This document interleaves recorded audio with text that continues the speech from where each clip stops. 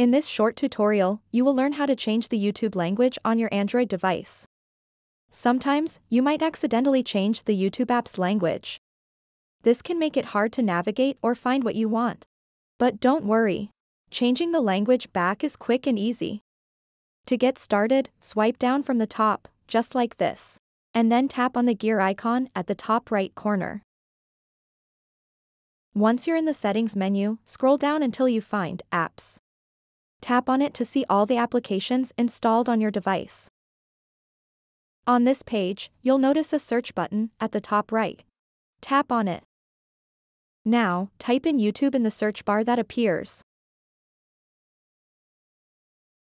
Once you've done that, select the YouTube app from the search results. You're now on the YouTube app info page.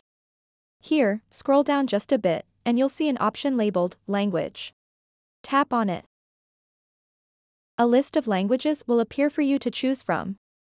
Scroll through this list carefully until you find your desired language. Once you've found it, simply tap on it to select it. The changes will be saved automatically. And that's it. You've successfully changed the language setting for your YouTube app. Now, when you open YouTube again, all menus and buttons will display in your selected language. So that wraps up this tutorial. If you have any questions about this whole process, please let me know in the comments section below. And if this video helped you out, please give it a big thumbs up and subscribe to this channel for more tutorial videos like this one. Thank you so much for watching and have a good day.